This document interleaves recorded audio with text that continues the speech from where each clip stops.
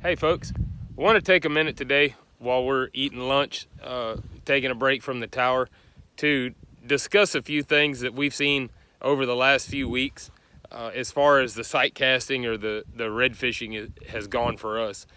Uh, you know, and some of these little changes, some days it's made it uh, easier to catch fish, other days it's made it a little tougher. But one of the one of the things we're seeing, one of the changes that we're seeing is these fish, these redfish are starting or have been, I guess really for about a week now, uh, have been staying up on the flats longer, you know, instead of dropping into the creeks. And that does make it a little easier to chase them. Uh, you know, you don't necessarily have to have the perfect water clarity like you do when you get down in those creeks. But uh, one of the one of the big things is not only are they staying up longer, which helps us, uh, you know, makes them number one, makes them easier to spot. But typically, when a fish stays up on the flat longer uh, throughout the course of the day, they're they're more uh, more inclined to eat. You know, if you throw the right bait in front of them or or the right uh, the right size bait in front of them.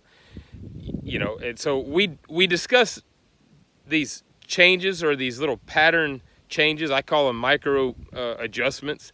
A lot of times when we're uh, trout fishing, red fishing, you know, from from a wading standpoint.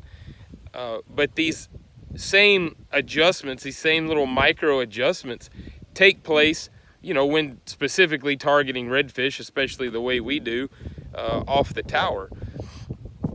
And one of the things that we've seen this week, uh, the last few days really, is bait change, uh, the size of bait ha has changed. You know, we've gone from four inch and even a few five inch baits down to the little bugs lures or even the uh, burner shed.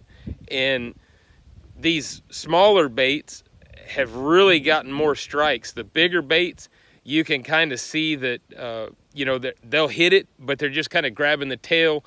They're like punching it, you know, they're not, they're not inhaling it. They're not gulping it in. So a, a key difference, you know, if you're having a tough day, especially if you're in, in front of fish or seeing these fish, you know, instead of leaving and looking for fish in another area, change your bait or change your tactic. See if that doesn't work before you head off to a new location, you know.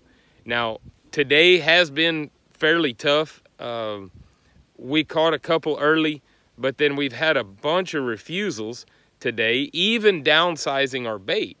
And I think part of that has to do with this uh, this front that blew in. You know, even though it's a it's a weak front. It obviously is no cooler than what it was yesterday, but it is a pressure change.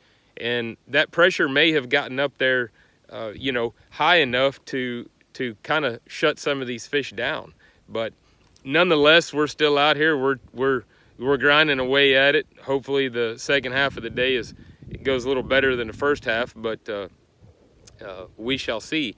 So just wanted to share that information with you, those, those little tips or tricks and kind of our change in tactic that we see, you know, weekly or daily sometimes. But it just, again, I thought it would help. All right. Y'all be safe this weekend. Looks like we've got a little weather coming in later in the weekend. Uh, so y'all just watch out and watch the forecast and uh, be safe out there. And remember, remember, try to release them when you can. Thanks.